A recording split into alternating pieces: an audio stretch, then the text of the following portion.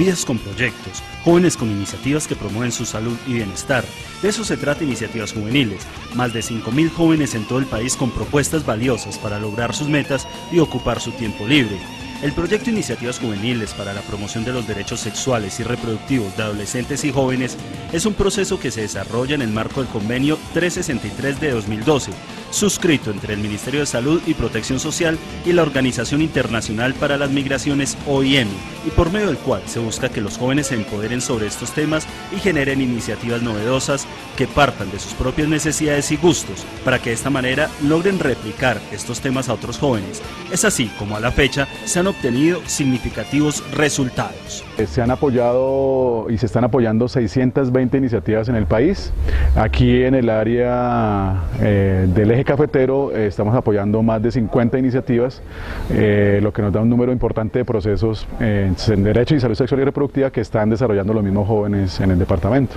Lo más interesante de este proceso ha sido evidenciar el interés que tienen los jóvenes por participar de manera efectiva dentro de sus comunidades, lo que es perceptible a través del empeño y compromiso que le ponen a cada una de sus iniciativas digamos, tenemos resultados muy interesantes en el sentido de mirar cómo los jóvenes se han logrado involucrar creativamente y dialogando con las mismas instituciones de salud de su propio municipio, han logrado también eh, que en algunos espacios como colegios, como centros, eh, centros recreativos, como en sus propios grupos culturales, han logrado que los jóvenes eh, reflexionen y piensen que su proyecto de vida a, a la edad en donde están puede ser más que tener un hijo en esa edad puede ser desarrollar su propio proyecto de vida, es decir, que pueden desarrollarse como profesionales, como artistas, pueden desarrollarse también eh, como personas que le aportan a la sociedad desde, desde su quehacer.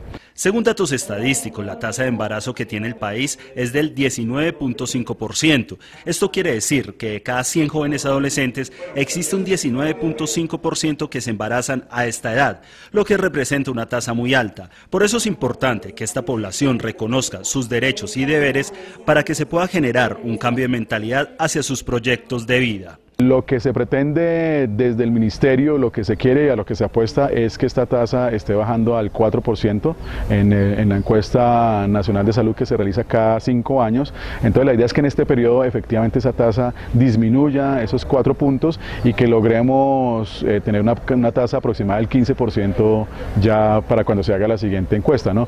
Entonces este tipo de proyectos lo que nos ayudan es a que los mismos jóvenes logren permear a otros jóvenes y que estos contenidos se desarrollen en esos contextos.